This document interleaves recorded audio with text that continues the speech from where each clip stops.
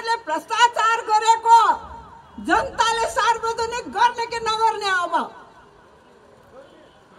किन भन्दाखेरि तपाईँहरूलाई कोही त मरेर गइसक्यो कोही बाँझेकै छ।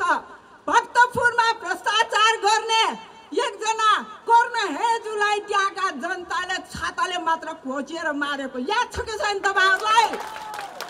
त्यसरी गर्न सक्छ कि सक्दैन?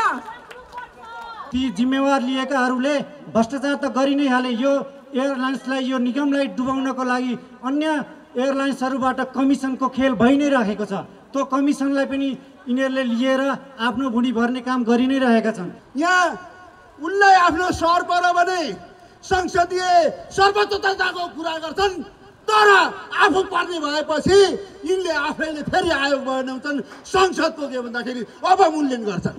त्यस कारणले गर्दाखेरि यो गाल एकदम गल्ती कुरा छ र यसरी नै यो काण्डमा सत्ता पक्ष र प्रतिपक्ष दुवै के भन्दाखेरि यसमा के अरे दोषी देखिएको हुनाले अब नागरिकै नउठेको उठे त।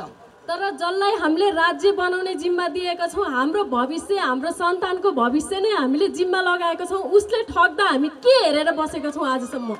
किन सुतिरहेका छौँ हामी? यिनीहरू भ्रष्टाचारी हुन् भनेर भनिरहनै पर्दैन। पञ्चायती व्यवस्थाले छ सत्तालिस सालमा कतिवटा प्लेन कुन अवस्थामा यिनीहरूलाई जिम्मेवारी जिम्मा दिएको थियो? आज उन्तिस वर्षपछि आरएनएसीको हालत के छ?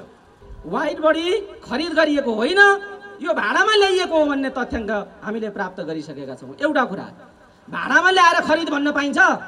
अर्काको सामान भाडामा ल्याएर भाडा नतिरेपछि उसले सामान लान्छ कि लाँदैन? यो साढे छ अर्ब घोटाला सहितको जुन वाइट बडी आएको छ यो कम्पनीमै फिर्ता हुने अर्को जोखिम पनि छ।